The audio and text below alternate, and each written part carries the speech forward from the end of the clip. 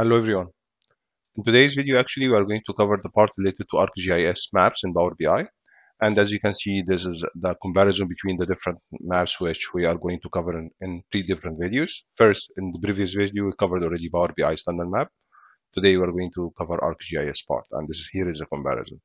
Uh, just to highlight the first two points, this one street maps and other maps, just, just highlighting the functionality that is being supported by ArcGIS.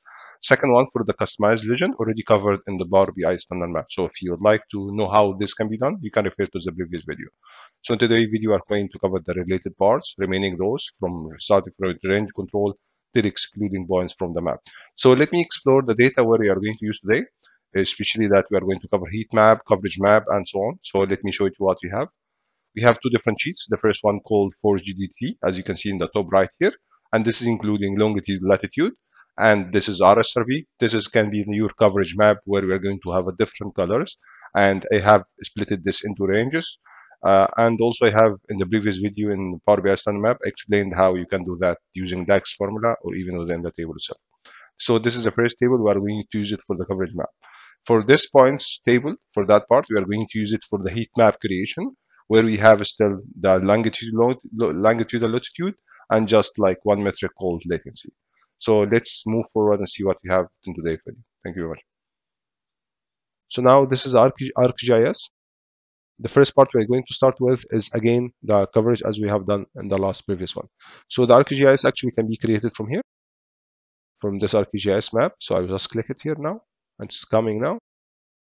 Again we'll start using you can see like this one you can have even an account with enterprise or whatever and you can sign in if you have ArcGIS online and this can give you more functionality. But for now I'm not going to use that.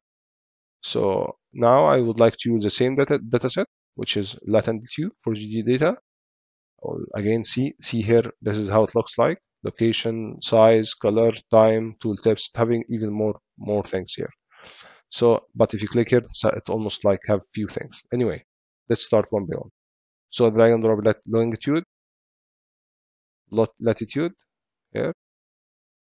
Now the, the here it's being now dropped here, right?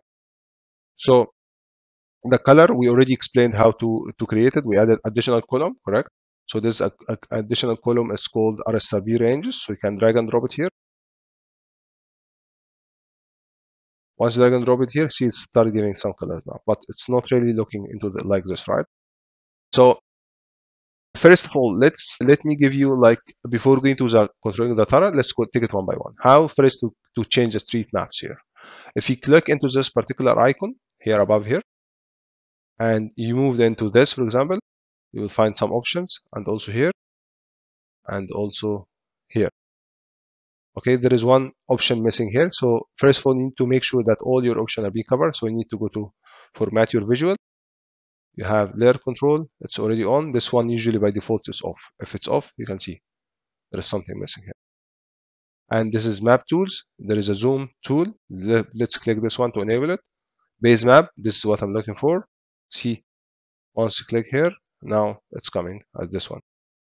So now let's do like that this is in case if you want to change the base map. For example, you want to make it open street, so you need to click here. First, you need to enable it, then you want to click here, then for example, change it to open street map like that. So now it's giving like as you can see here now. So let's now click this one. So this was the first part for the street maps. Now the customized legend already covered in the previous. It will be exactly the same. You need just to do ex exactly the same thing. Now about the ranges control, like uh, ranges control, actually this is also for the exact Excel. You can just increase the ranges or based on the formula. And customization already done. So now let's see how to format this one to keep it exactly same as this.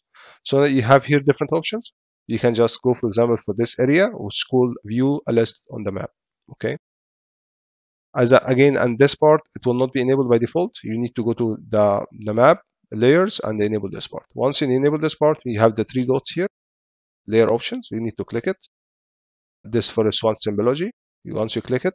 Actually if you didn't drag and drop from the beginning the colors here this part will not be appear. Just take sure of this make sure that once you I drag down this one without that if you remove this now this one see it's not here anymore. So take care of this part. So I will drag and drop it again. And now let's modify. See now we have three options heat map location if there is no colors it will be like that. So I need to click here style options and then with style options now I have this particular area which is showing my colors. So initially I would like first to change the color so I will just click here. I would like to fill it with green. Okay. Now we are done with the green outline. I don't need any outline. So I'll just close. Okay. This is the first color. So let's go back. Now the first one is being done here but you can see it's very big because I didn't reduce uh, the sample size but it's okay. So let's click here again. Go to the remaining option. You can even change it to circle whatever you want and even have another shape. So it's the size first. Let's make it 3 for example. So now I will click OK. Now it's done. See it's reducing a lot now. Now change this one to yellow. Again you can get here you have the fill make it into yellow. Once you make it yellow again close this one and go back to the shape and change the size again to 3 so you need to do it one by one for the legend you give it. So the last one will be uh, again fill I will just give it as red color. Again here outline I will switch over the outline and again I will give it as 3 so you can control it based on whatever you need. So now see if you went down here see now we have it uh, same as this one. The only difference is that the color is kind of I give another color and the size of the bends is, is smaller actually so this is the first option here. I would like also to show some options that this one actually that can be changed as if you click into symbology you can also change for example the coloring here it's like the way it's portrayed this is a standard in case if you would, you would like to use something of their own legend okay? So this one will give a legend based on the, your selection. So you can do it manually or even you can do it as we just have shown here and in case if there is other you can just hide it from here. So this is the first part of how to control the colors for this part. Now let's go through the second part which is related to the heat map okay? Let's related to the heat map. Draw draw again the same map which is ArcGIS. It's here as you can see for Power BI then I will be using another dataset now which is for the points okay? So the points you can just drag and drop. So you need first to take the latency sorry latitude to latitude on longitude to longitude. For now. Let's keep it like that for now and see what we can get. So now this is all the points again. So directly you can first go to here expand map. And again because I close it off you need to make sure that everything is enabled layers is enabled and also map tools you can also add it again. And change just make sure everything is there here right? So again you need to click here which is called view then you can just click layer options. You have the symbology here. If you click it again you'll find that you have this kind of heat map and also this location single symbol so let's go through single location just show you what what it has. Just just simple one. It's just showing you like if you want to change the shape also the color same of what you have for this particular points for example i don't want outline. So you see this outline uh, white one it's disappear and this is in case you won't like to change the color for example to blue so you'll find the dots is being changed. And again you can change the size of those for example by make it uh, 5 so you find that these dots will now be reducing inside this map. If I change it to 5 or whatever yeah. No sorry this is the transparency for the the colors but the size will be from here. So if I make it 5 now this is supposed to reduce now outside. Okay, let's make it 2 also to, to be more clear see now it's reduced a lot outside here. So this is just to see you how to can control now in case if you want to turn it into heat map you just need to click into the heat map here. And now into the heat map it's yeah you can just make style option. Now this is the main point. The style map actually is giving you standard colors. You cannot control the color. This is one of a small limitation which you have in this part that the color itself they are giving you standard colors. So you cannot like give a specific colors you like you just need to go through their own colors which they are giving to you here. So now see this is how you can control this part as you can see outside here. Like let's make it big and like, to make it more clear for everyone. See for example now I'm making like this. See what will happen yeah so this is how the one way around if you would like to control your colors. So now see okay giving more advantage for the yellow because I'm using yellow. So this is also area of influence as you can see.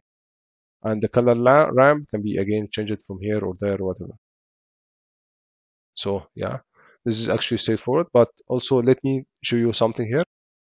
If you go down more down here this is the area radius like how much you want to increase or reduce or whatever. See this is the radius of the dots. Like for example if you increase the radius it will aggregate more areas.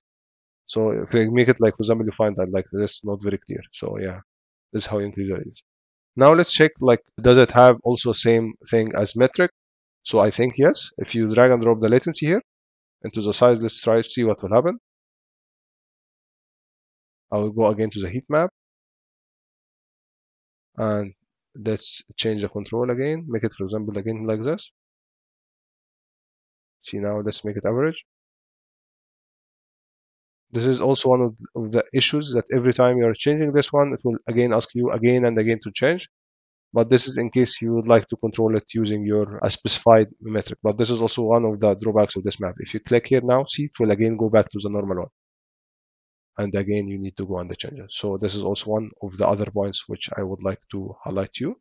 So this is actually how you can quickly create a heat map using this ArcGIS it's more flexible in terms of zooming. Like zooming it will not directly disappear as the previous one as this one. It will just stay. You still have a chance to see your data when you zoom in not compared to the other one. The other one which is standard map it was disappearing quickly. So this is also one of the advantage which you have it here yeah so this is actually options if you want to lock the extent and so on and so on. This is the location type you want. But this options uh, usually it's not not like the standard map. All the things can can be changed from here. You can control most of their inputs from here. And I will go through the remaining stuff now. So now let's speak about the clustering point of view. If you want to like to, to make clustering what it means by clustering. Okay. First of all let me return this one again to two points okay So now let's cover the clustering part. So let me first make it full screen to try to show it like a more clear vision when, whenever, whenever you're working now. So I already have the map. I drag and drop latitude and longitude for now. So what is the idea of clustering? Clustering, for example, if you would like to try to cluster some of the points into one, one area and just, for example, check a particular metrics, which is, for example, latency. So I would like to make a cluster for these four points and check what is the overall average or sum or count based on the aggregation you're giving for this metric. For, for example for this latency or for any other metric for example total sales or whatever. So I click and do this in size for now and let's see. Before doing that let's first go to the clustering part how to do clustering in general. So you need to click here and do this part. Again then the three dots. Once you did the three dots you have the clustering second one once you did the clustering, you just need to enable it. And this can be controlled. See now, once I done, I done that, we'll find that number of points is being reduced. See? It will even give you a count. If you click this one here, I see you that this cluster represents seven features. It means it's like aggregated seven points inside this one, but it's not giving anything here inside as information, only telling you that this cluster having seven values. So if I drag and drop the latency now here into the size, okay? Or better to put it into the tooltips. Okay? Put it into the tool tooltips and look cluster now. See now what we'll have. This cluster represent browse features. So now drag and drop, you have the cluster, drag and drop the latency, for example, into the size, but the main point that it will be disabled again, so I need to enable it. So I will enable it again now. See now, if you click into that part now, it will you this this cluster represents seven features. The average value of the, of the latency within this cluster is 401. Actually, it's this is not the average, it is a sum based on your aggregation, but it's telling you at the end the average. So it's taking the you change this value, I'm expecting inside here to average. It will still saying average, but the value itself will change. If you look into this now again, let's make it calculated first before we give anything. See, before it was 400, now it's changed to 152 because I make I change aggregation to average. So this is can be done for it. So this is like it's still using the all the cluster, but I need to make it like this. Now enable it. So in case if you would like to increase, for example, the cluster radius to increase the more points, the dots will be increasing, but you can see the count of samples here is increasing. So this one having eight and eight. So let's make it to the maximum see what will happen. See now the dots reduced a lot. So if you click into this, because it's all being aggregated now. Average latency, for example, is 154. And in case if you would like to change it to, for example, squares, you can just go back here. See here, it's giving just some information that uh, giving you like the size, see the number of features you have. This will be size if it's greater than 21, 16, and so on. This is like something you can also play around. You can see like from here as just a reference. So now just I would like to change this kind of single points the this points uh, the the into squares instead of having yeah into squares. Why uh, this is like in case if you would like to have a continuous uh, check like to merge it all together. So i need to go back to the clusterization to make sure it's still on it's still on. So now if i make like that see now zooming out it will looks like they are now clustering all together. But again it's not really very uh, symmetric or compared to the Power BI uh, sorry compared to the QGIS or or mapping but this is a, a, way around we can do it as a clustering point of view. And even you can give it different colors using whatever you have. If in case you have a colors you can just drop it and drag it here. So to give different colors for the ranges here which have in the cluster. So one of the, the function which we have it in general in this map. So let's now check this kind of uh, related points for the point selection as we have shown before and even if you want to exclude some points. So for example assume you want to exclude this particular area. So you can click here so this is like giving you more function for the flexibility of selection. For example, the previous map was showing only squares, right? This one now can be or rectangles as like can be circles, can be rectangle, can even be a polygon selection. If you click here, freehand selection or even polygon selection. So let's first take this one as this one, for example, is rectangle. What see what we'll get. You just need to click shift okay? You need to click shift then move your mouse. So if you click now here you can even exclude this one from here as we have done before. See now the voice has been excluded and again it will be coming into the filter. So this is actually having more uh, more sophisticated type way of selection. You can just make it as as we mentioned based on polygon for example here. So you can even close this one. So if you have this still selection of uh, I just make it as a polygon. For example I will make it like this. Then I will give as a polygon. So now you can just draw your polygon here. Like this is also one way around. Now it's being selected. You can still exclude for example all these points. Within the polygon see now it's being excluded as well. Now going back here so you can remove it. So this is actually one of the things also Okay, now let me show you the interesting part about this map as well, which actually information you can get it from it's being uploaded in the public web. For example, if you have postal codes is being uploaded, you can search, you might find some interesting information. So let me, for example, give you uh, uh, here some example about this part. So you need to, to go here for this particular area, this one, okay, which is add to your data to enhance its meaning, okay. So now, if you look into this part, we can add even some reference layers and this is like if it's being uploaded to the web or even uploaded especially to ArcGIS and you make it public, someone having ArcGIS on uh, account. So if you want to this part, for example, the first part you need to, I'm zooming in this particular map. So the first part you need to go to the filters. In the filters, you need search within the map. So now once I give any search, if you click first, like see, it's giving you 10,000 items here.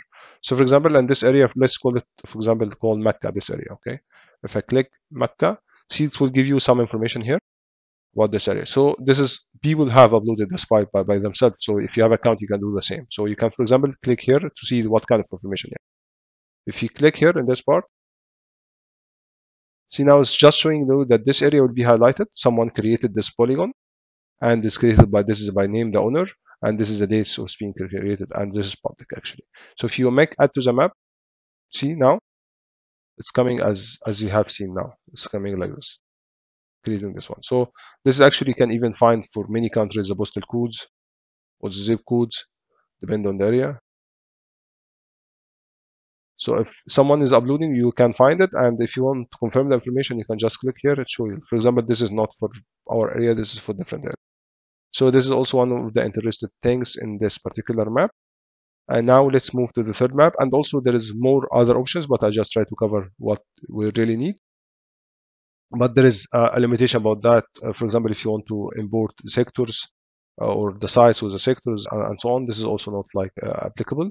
Uh, I think it might be done as ArcGIS as well, but I didn't try it. But it doesn't have a direct way to do it, to import the sites.